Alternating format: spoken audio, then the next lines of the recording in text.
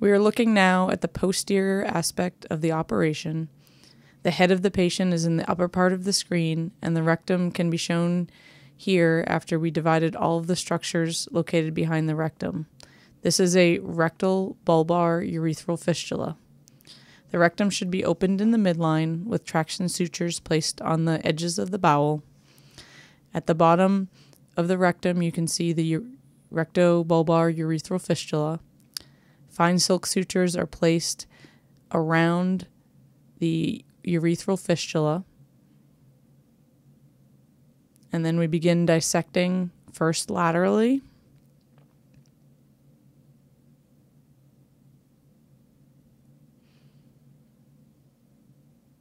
And then on the anterior aspect,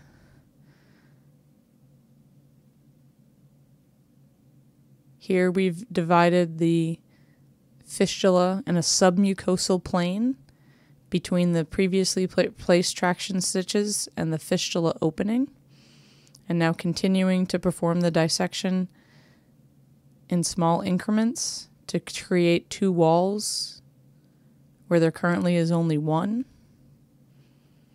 At this point, there is still a shared wall between the urethra and the posterior, sorry, anterior aspect of the rectum. It's important to keep this dissection plane in the submucosal plane to avoid injury to the urethra. This dissection continues until the urethra and the rectum are two completely separate structures.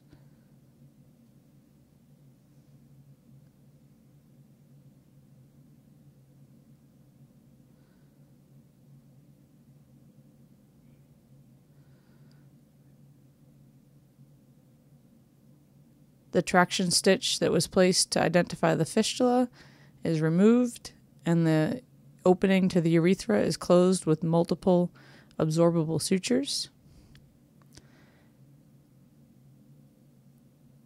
We now continue mobilization of the rectum so that it will reach to the sphincters. Again, carefully dividing blood vessels on the wall of the rectum in order to gain length. This is performed until there's adequate length for the rectum to reach the perineum without tension.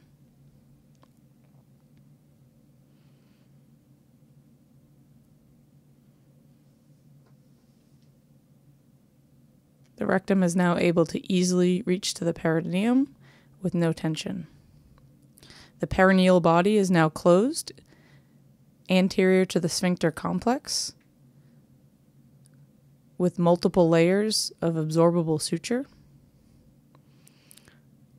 The rectum is then positioned in the sphincter complex, and the posterior incision is closed in layers up to the posterior limit of the sphincter. This is again performed using absorbable suture.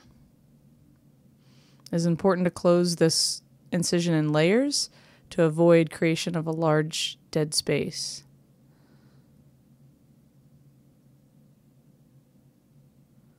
The skin is then closed with multiple simple absorbable sutures on the skin. Now, with focus to the creation of the anoplasty, the rectum is split anteriorly and posteriorly. A U type stitch is placed from the skin in and out through the bowel and out through the skin at 12 and 6 o'clock. The excess rectal tissue is then excised.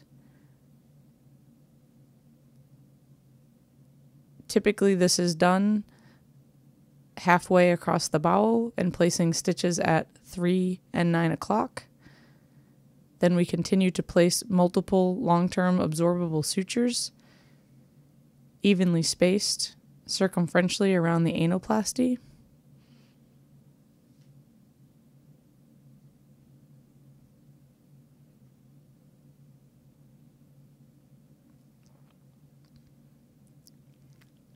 The sutures are then cut, and the anus will see, be seen to retract into the gluteal cleft at the conclusion of the operation as seen here.